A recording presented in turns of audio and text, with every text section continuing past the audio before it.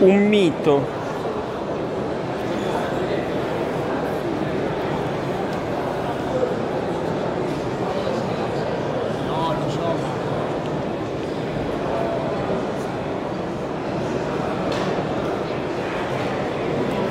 La mitica Prince verde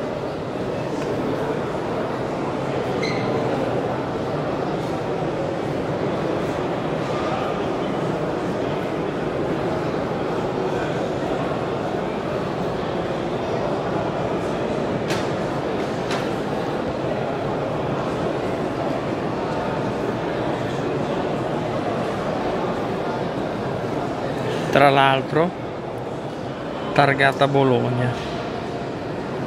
Che spettacolo